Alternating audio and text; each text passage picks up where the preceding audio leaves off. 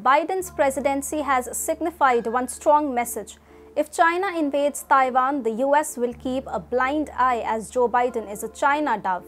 So, do we have anyone in the USA who can save Taiwan? Well, we have the hawkish Republicans who are threatening to sanction China if it launches an invasion against Taiwan. Hi and welcome to TFI Global, the foreign affairs and geopolitical analysis arm of the TFI Media Group. I'm your host Tejasvi Malhotra. Let's begin. Taiwan seems unsafe under Biden's presidency. The 79 year old senile remains committed to the One China policy, shares sensitive intelligence on Ukraine and Russia with China, and even refuses to promise that the US military will intervene if China goes to war with Taiwan.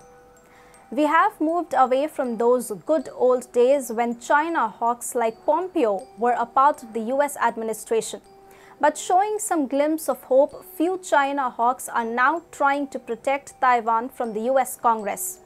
Three Republican senators, Rick Scott, John Kennedy, and Kevin Cramer, have co sponsored a bill to sanction China in case of a Taiwan invasion. The latest bill brought by US lawmakers proposes to protect Taiwan from the China threat by use of financial sanctions against Beijing. The lawmakers said passing this bill will make clear to General Secretary Xi that if he mimics Putin's invasion, then he will be met with economic isolation and severe financial sanctions called the Deterring Communist Chinese Aggression Against Taiwan through Financial Sanctions Act, the bill states that it would impose devastating financial sanctions on the Chinese government if Communist China dares invade Taiwan or attempt to change the status of Taiwan's governance through the use of force. The Republicans are now mounting pressure on the Biden administration over the Taiwan issue. On Friday, former US Secretary of State Mike Pompeo suggested that the US should diplomatically recognize Taiwan as a free and sovereign country. Pompeo made this suggestion during a visit to Taiwan. Back home in the US, the bill to sanction China in case of a Taiwan invasion states that it would sever all financial transactions between the US and China if China engages in an armed aggression against Taiwan and its territories, invades Taiwan or its territories, blockades Taiwan or its territories, or attempts to change the status of Taiwan's governance through the use of force. For China, this would be quite a disaster. In case the bill gets through, the EU will have to come up with a similar proposal.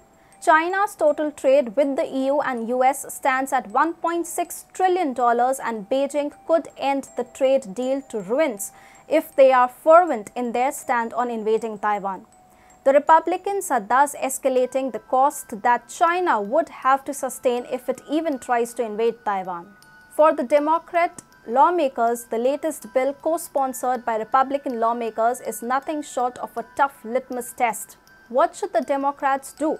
If they support the bill, then it dilutes President Biden's thinly veiled agenda of going soft on China.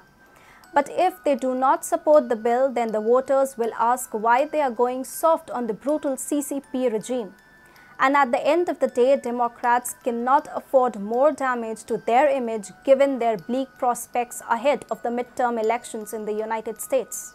In all probability, the bill to sanction China should get through.